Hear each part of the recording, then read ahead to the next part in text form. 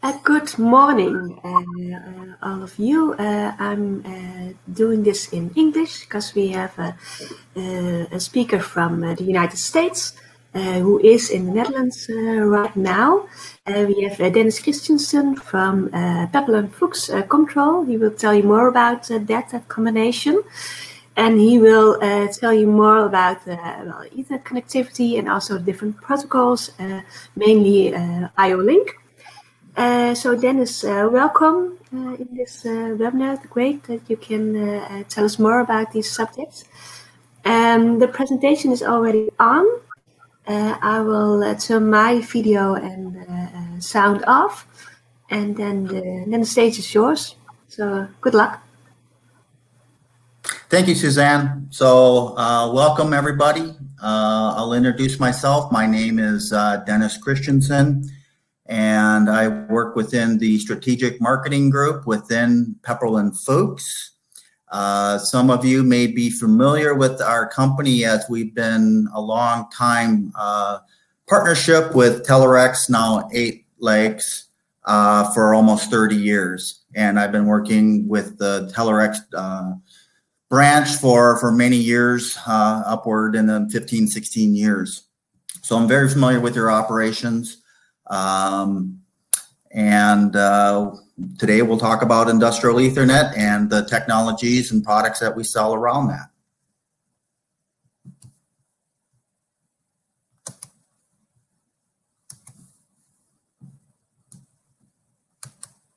So first thing I want to mention is uh, Comtrol was acquired by Pepperl and Fuchs in February of 2019. Uh, we are, Pepperl and Fuchs is an industrial manufacturer uh, based in Germany. Uh, Comtrol now serves as the competency center of excellence for the Pepperl and Fuchs group for industrial connectivity and industrial ethernet. The groups within Pepperl and Fuchs include uh, the BDT division, which was mostly industrial sensing and vision, uh, Comtrol, which is the company that I came from, is now the Center of Excellence for Industrial Ethernet and Connectivity. Uh, we have other business groups in the company, eSpace, uh, laser scanning and measurement, Neoception is for IoT solutions, and we have Ecom, which is our mobile applications and mobile displays uh, division. Uh, within Pepperl and Fuchs, we cover a wide range of technologies, mostly from the sensor on to the infrastructure. So we provide a, a, number of industrial sensors and solutions from the sensor layer up into the cloud, including proximity switches, uh, photoelectric uh, sensors, uh, vision and laser systems. But today we're going to focus mostly on industrial communication and connectivity. Now, when you ask people or you ask yourselves, you know, what is industrial Ethernet? You're going to get a variety of answers because it's a pretty vague term in this industry and it covers a lot of different technologies. So some people look at it from a very different perspective. Uh, the perspective that I'm going to be focusing on is more how it applies in our factory automation space and process automation space. So when we're talking, or at least when, when I am referring to industrial Ethernet, I'm going to be covering terms like Ethernet IP, Profinet, Modbus, OPC UA, and MQTT. So specifically, Ethernet IP refers to the Allen Bradley slash Rockwell environment with PLCs, factory automation processes, um, but it's mostly a proprietary Ethernet that is specific to the Allen Bradley Rockwell ecosystem.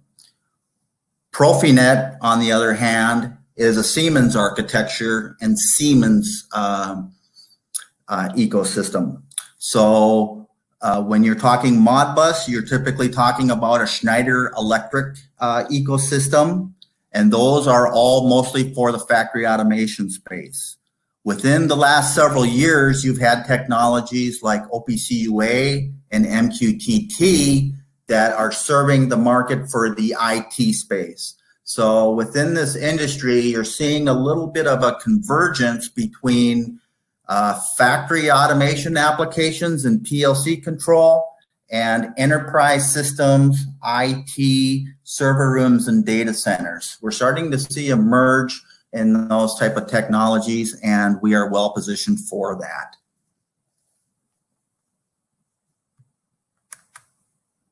Uh, the first part I want to cover is IO-Link. So um, IO-Link is uh, uh, sensor technology and actuator technology, mostly on the electrical layer that uh, is replacing 4 to 20 milliamps digital input, digital output, um, the sensor layer or electrical layer connectivity in these type of applications. So one thing I want to point out about IO-Link is it's standardized among most sensor manufacturers and most uh, actuator company manufacturers.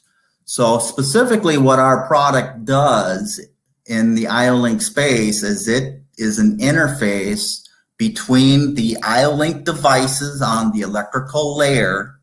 So you can take any sensor from any manufacturer that supports IO-Link, you can plug it in and it's um, automatically going to start communicating and working uh, mostly kind of like a plug and play system.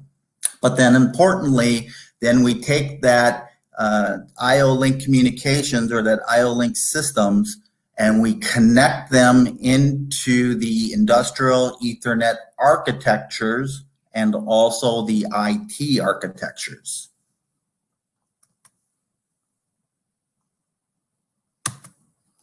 Uh, this is a, a, product slide that shows how they look. So the important thing I want to uh, talk to you about here is the interfaces uh, come in a variety of shapes and, and port densities, uh, mostly for inside the cabinet applications are usually an IP20 uh, rating and outside the cabinet is an IP67 rated.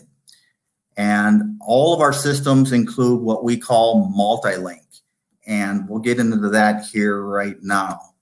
So what multi-link does is it takes the interface between the electrical layer. So you have to kind of look at this product in, in two functions.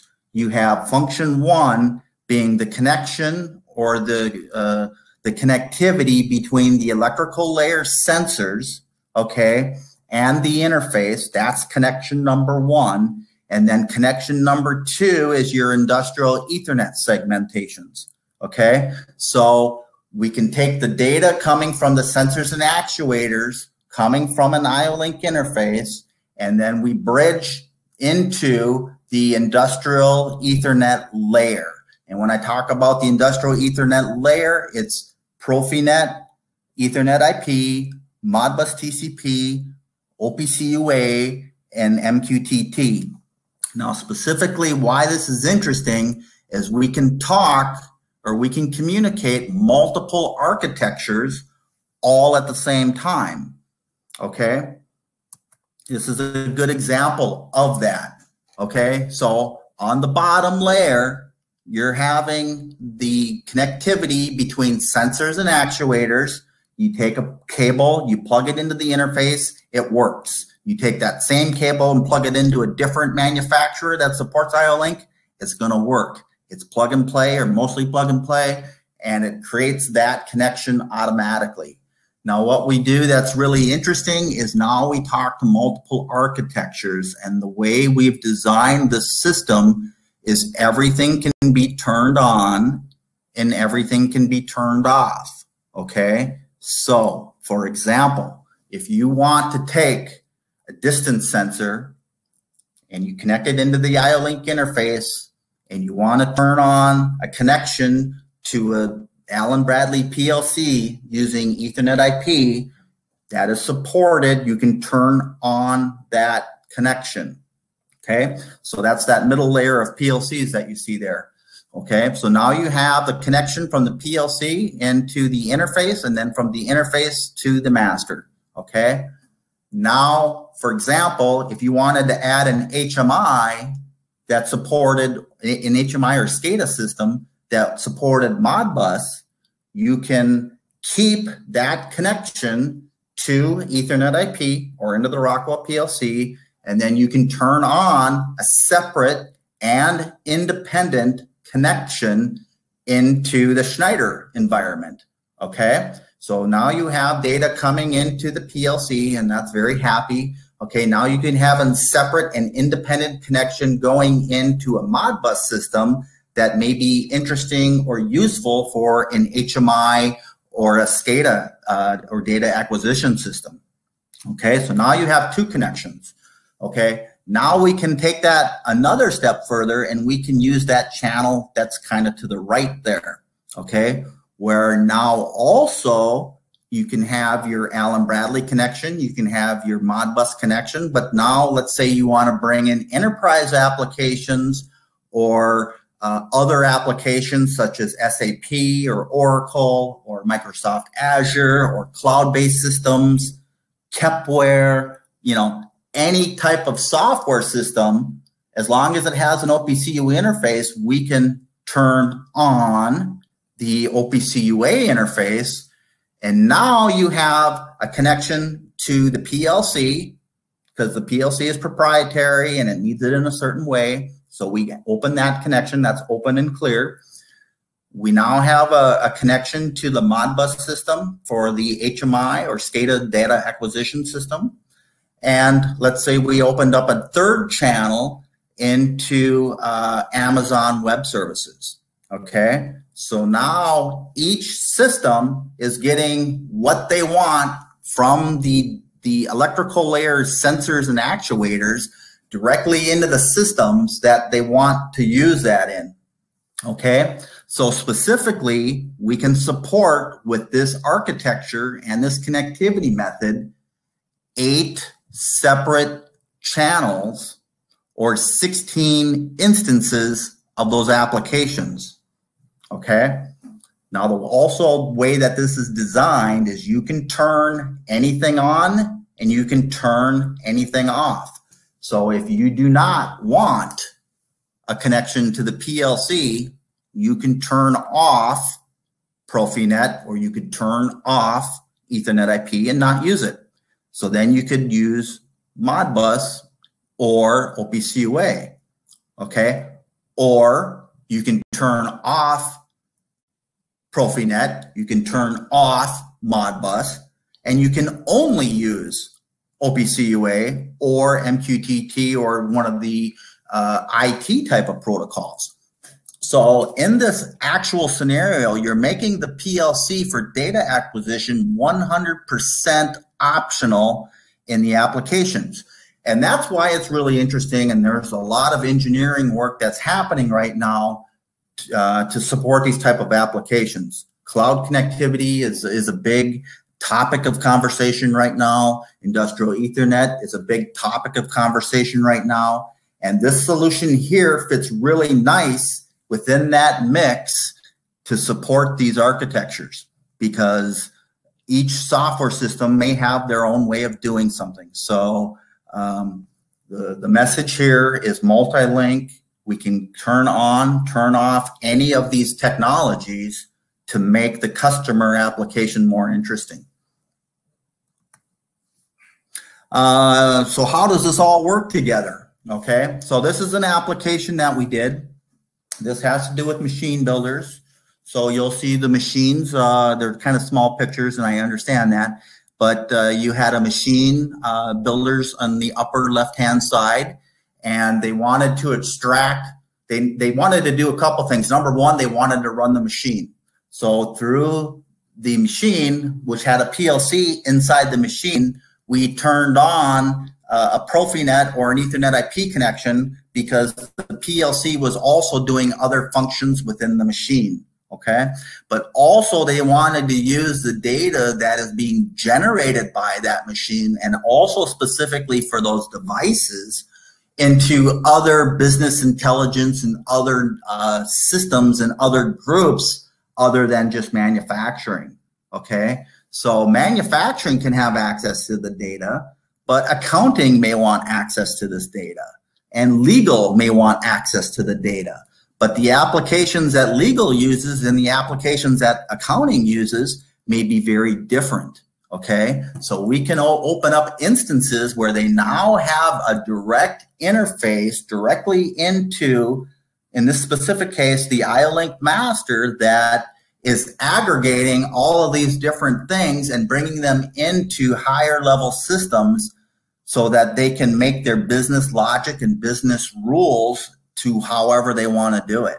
Okay. So specifically in this specific application, they wanted the manufacturing statistics of the machine that is printing out or stamping out widgets. They wanted to know how many per hour, what the rate is on how many uh, uh, raw materials and, and goods that they needed to get through.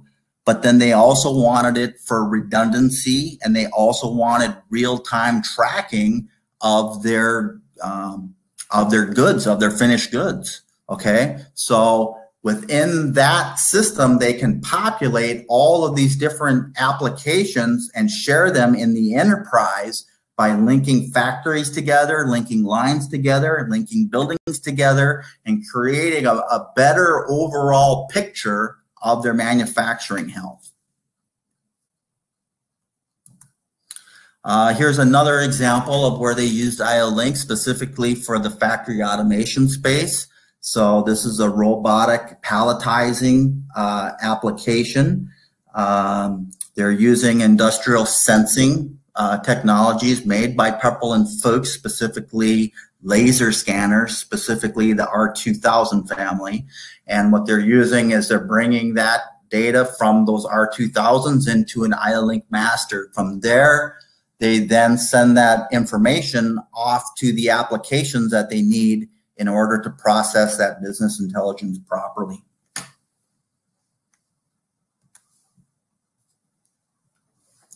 Um, anybody who's worked at Telerex for a long time is probably familiar with our IO-Link uh, industrial Ethernet gateways. So they work very similar to the IO-Link platform. Um, they are mostly used for serial communications or serial electrical layer and then bridging uh, industrial Ethernet topologies, uh, connecting the two together. So the electrical layer, when I talk about that, I'm specifically talking about RS-232 or nine wire, uh, nine wire serial communications, four wire 422 electrical connections, or two wire RS-485 connections. So the specific job of these gateways is to take electrical layer communications, bring that into the gateway, and then hand that data off to a different system, whether it be Profinet, Ethernet IP, Modbus TCP, or some other type of network. Okay. Uh, the original uh, platform has been on the market for about 20 years. So it's been a long time, but they're used uh, in every factory and every application you can think of. It's a connectivity piece. Now, these are all come in a variety of shapes, functions, form factors, industrial ratings. Uh, they're all different, and we have different options depending upon what the application is.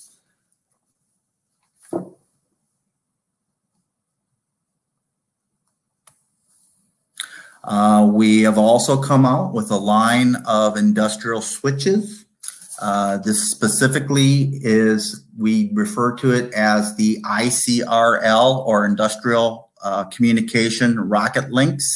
Uh, from Comtrol was referred to as the RocketLinx platform. Uh, they're industrial switches. They have industrial components and are made with mostly extended temperature uh, ratings that are required in more industrialized situations. Um, They also support uh, different technologies like fiber optics, uh, gigabit Ethernet, power over Ethernet, and uh, power over Ethernet being 802.11, which is 15.4 watt, and uh, 802.11 AT, which is the 30 watt standard. So both industrial Ethernet switches and power over Ethernet switches. Again, they come in a variety of sizes and shapes and port densities. Okay. And uh, this is just a little slide with the type code and the item number on it. Again, another comparison for the platform. Um, most platforms support what's called an SFP connection, and that would be you can buy a SFP connector that goes into the switch that provides uh, either 10100 gigabit downstream, but fiber optics on the upstream. Uh, very good and used uh, very extensively in traffic and transportation applications, vision applications, um, uh, uh, building automation applications. Um, you know, pretty much any switch talks to an IO-Link platform or our DeviceMaster platform. So every single time you sell a, a, an IO-Link master or one of the DeviceMaster platforms, every single one of those contains an Ethernet connection. The Ethernet connection is brought in by the RocketLinx model or the industrial switches, which then talk to the other layer switches within the network. Uh, some applications where this is interesting is uh, mobile applications, uh, specifically for our RocketLinx platform. Um, we have models of our switches that support 12 volt uh, electrical connections, which is really interesting in mobile applications, police cars, emergency equipment, forklifts, taxi cabs, uh, things like that, where they can use the power off the battery at 12 volts, but within power over Ethernet specifically, they need to boost that voltage rating up to 48 volts, which most cameras and most power over Ethernet equipment is uh, supporting. So we take that voltage from the battery and we boost it up to 48 volt, and you now have the connectivity into the 48 volt products.